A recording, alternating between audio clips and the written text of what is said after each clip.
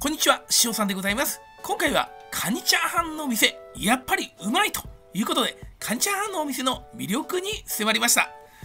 大宮駅のエキュート、こちらを訪れると必ずと言っていいほど食べたい、そんな気持ちになるお店、それがカニチャーハンのお店でした。この日は久しぶりにエキュート大宮の中を訪れました。いろんなお店がある中で一番に思い浮かぶ。それがやはりカニチャーハンのお店です。以前はめっちゃ利用していましたがここしばらくなぜかなかなか利用しないまましばらく時が経っていました。そんな中今回訪れた大宮駅での夕食の機会。この時に一人で会ったこともありカニチャーハンのお店を迷わず食べたいと思うようになりお店を訪れました。こちらがカニチャーハンのお店。カニチャーハンのお店ということでもう分かりやすい名前ですね。たまたまこの日はすぐに入りました。普段は行列ができているほど人気のお店。注文の仕組みは食券機になっていました。こちらの食券機で注文を選びます。メニューはこちら。いろんなチャーハンがあります。とにかくチャーハンばかり。注文したのはカニ肉大盛り1.8倍のご飯大盛り。そのカニまみれチャーハンでした。客席から見える調理風景。これがまたいいんです。ちょっと座った席が斜めでしたので少し見づらいですが正面に座った時のこの光景は本当にたまらないぐらい美味しさを届けてくれます。それぐらいにこの調理風景素晴らしいです。そしてこちらがカニまみれチャーハン。カニ肉大盛り1.8倍です。カニ肉の量すごいですね。もう富士山の頂上に乗ったカニ肉のような感じでたっぷりカニ肉が乗っております。このカニ肉ですが混ぜるとさらにボリュームが多く感じるんです。見た目だけでも量すごいですよね。しっかりと剥いて出てきたカニ肉。これを実際に乗せて食べるという形になっております。カニチャーハンのお店のこのチャーハン。改めて見て瞬間に分かったのがパラパラチャーハン。このパラパラチャーハンのこのご飯のうまさ。これが見た目から伝わるということが本当に素晴らしいです。それぐらいパラパラしてるのでカニ肉もなかなかすくえません。それぐらいパラパラ感がすごいチャーハン。ということで早速混ぜていただくことにしました。これ混ぜていくと本当にボリュームを感じるんです。カニが本当に多いということでこのカニを混ぜていくと至る所からカニが出てくる。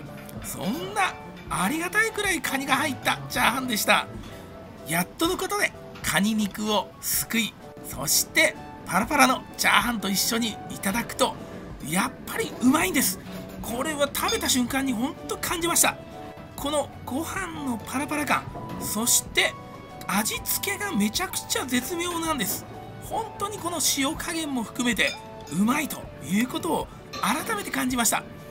何よりもこのやっぱパラパラ感もうチャーハンにとっては本当命というぐらいにこのパラパラ感に仕上げられたご飯。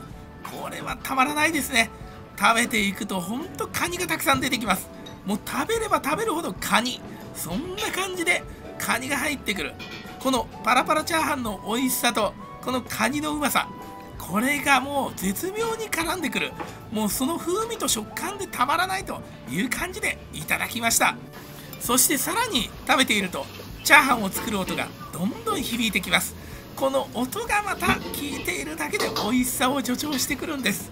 それぐらいにこのチャーハン見た目以上にボリュームもあったということもありましたが本当に食べていると美味しいということで食べ始めると止まらなくなりました。そしてあっという間にこのチャーハンをいただいたということでやっぱりうまいなということを感じながらこのカニチャーハンを最後まで平らげさせていただきました。ご飯が少なくなってくるとさらにパラパラ感を感じたこのチャーハン。改めてすごいですよね。これを常に出し続ける。これがやっぱ素晴らしいと感じたチャーハンでした。そしてこの日はさらにイベントカニ味噌汁サービスということで無料でカニ味噌汁がつきました。こちらのカニ味噌汁カニがたっぷり入っておりカニの出汁が素晴らしいくらいに出ていてもう本当に美味しかったです。カニの身も最後までしっかりといただき美味しいひとときをカニチャーハンとカニ汁を通じていただきました。そんなカニチャーハンのお店久しぶりに訪れてカニチャーハンをいただいて改めて美味しいと感じました。この美味しさ全く変わっていないということを感じるぐらいにブレていない。これはカニの量も含めてでした。それぐらいこのカニチャーハンのお店全くブレない美味しさを届け続けている素晴らしいお店であると感じました。特にこのパラパラ感これはほんとたまらないです。そして一度知るとまた食べたくなる。このことを改めて強く感じまた通ってしまいそうです。そんなカニチャーハンのお店他のチャーハンもほんと美味しそうで食べてみたくなります。そんなカニチャーハンのお店は開店も早いので大宮駅でお昼を済ませたい夜を済ませたい時におすすめだと感じました。ごちそうさまでした。ありがとうございました。最後までご覧いただきましてありがとうございました。お店の詳細については説明欄をご覧ください。またコメントなどもどんどん書いてください。チャンネル登録もよろしくお願いします。最後までご覧いただきましてありがとうございました。